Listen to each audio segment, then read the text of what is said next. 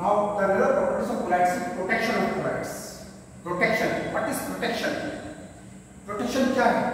क्या प्रोसेस होती है प्रोटेक्शन इट मींस जनरली हम देखते हैं बायोफिलिक कोलाइड्स होते हैं मींस ऐसा कोलाइड्स जो अपने आप ही स्टेबल हो जाए। मीन जिसकी जब डिस्पर्स फेस और डिस्पर्शन मीडियम की आपस में एफिनिटी है और एक सॉल्यूशन बन रहा है।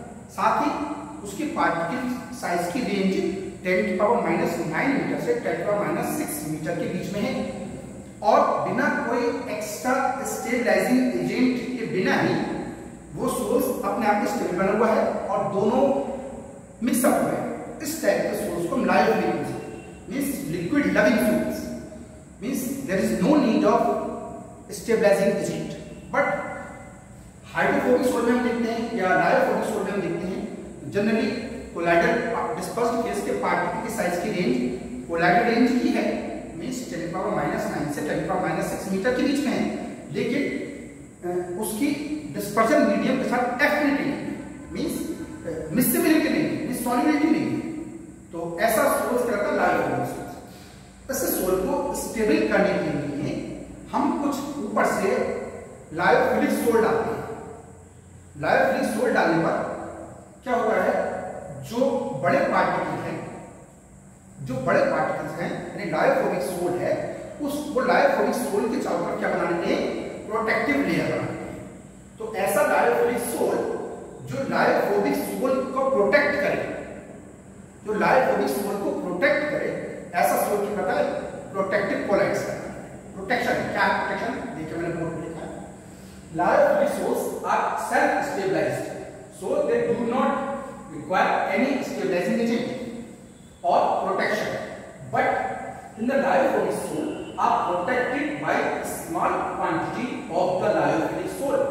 To them, means lyophobic soul को स्टेबल करने के लिए लायोफोबिक सोल को स्टेबल करने के लिए हमने कुछ उसमें क्या डाल दिया लायोफोबिक सोल मतलब लायोफोबिक सोल का हमने सॉल्यूशन बना दिया लायोफोबिक सोल बना लिया लायोफोबिक सोल बनाने के बाद हमने देखा कुछ देर बाद वो सेटल डाउन हो गया डिस्पर्स फेस अलग और डिस्पर्स मीडिया अलग।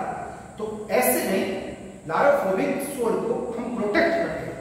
Means they forms a layer around the particles of lyophobic sol हम बना रहे हैं लायोफोबिक सोल बना रहे हैं जो हमने ऊपर से ऐड किया एंड दस प्रिवेंट डायरेक्ट कांटेक्ट वो रोकता है डायरेक्ट कांटेक्ट किसका lyophilic lyophobic sol and dispersion medium और जो उसमें डिस्पर्शन मीडियम लिक्विड है so they protect the part protection इससे वो प्रोटेक्ट हो जाता है सेटल डाउन नहीं होता तो ऐसा प्रोसेस कहलाता है प्रोटेक्शन यानी प्रेसिपिटेट नहीं हो पाता एफिनिटी बनाए रखता है किसके साथ? डिस्पर्शन मीडियम के साथ। ओके नाउ इसी प्रोसेस को जनरली गोल्ड सॉल्यूशन में स्टडी किया गया सबसे पहले और उसे गोल्ड नंबर दिया गया। क्या है गोल्ड नंबर बहुत ध्यान से देखिए। अगर ये पॉइंट्स आपको क्लियर है, तभी गोल्ड नंबर समझ में क्या है गोल्ड नंबर देखिए। डेफिनेशन लिखी हुई आपके सामने। The minimum quantity of protective colloids कौन सा प्रोटेक्ट प्रोटेक्टिव जो हमने ऊपर से ऐड किया था लायोफिलिक वाला। प्रोटेक्टिव कोलाइड्स इन मिलीग्राम यानी बहुत कम amount which is must sufficient जो कि ज़रूरी है सफिशिएंट काफ़ी है। टू कोएगुलेशन कोएगुलेशन को रोकने के लिए to 10 mg of red gold salt 10 mg red gold salt के, जो कि 1 mg NS 10% NaCl डालने पर होता है। मींस हमने क्या देखा? हमने रेड गोल्ड सोल्ट लिया कितना लिया रेड गोल्ड सोल्ट हमने इसमें 10 ml 10 ml लेने के बाद हमने देखा 10 ml रेड गोल्ड सोल्ट को अगर हम ऊपर से 1% सॉरी 10% NaCl का सॉल्यूशन 1 mg ऐड करें तो प्रेसिपिट हो तो उस सॉल्यूशन का प्रेसिपिटेशन हो जाएगा। उस सॉल्यूशन के प्रेसिपिटेशन को रोकने के लिए हमने अगर ऊपर से थोड़ा सा क्या करें? प्रोटेक्टिव दिया लिखा है minimum quantity protective flux in milligram which is must sufficient यानी जो भी ज़रूरी है of 10 ML gold salt which when when when ML LCL when ML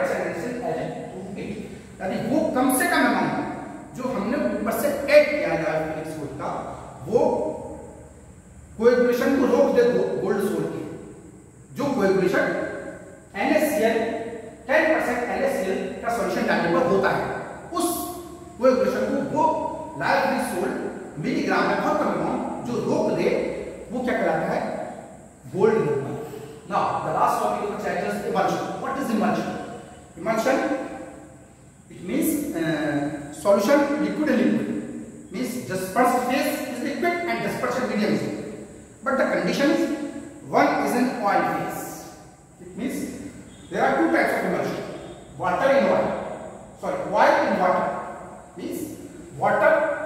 is dispersion medium and oil is the dispersed phase. It is present in small amount. Oil is present in small amount and what is present in more amount that's called dispersion medium and that's called dispersed phase.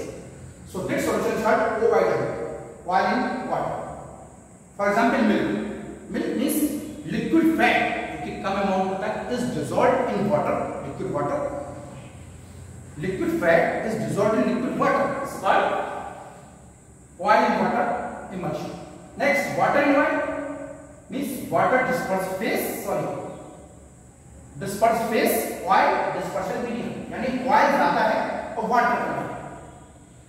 Water in for example butter butter में आप देखते हैं fat ज़्यादा होता है।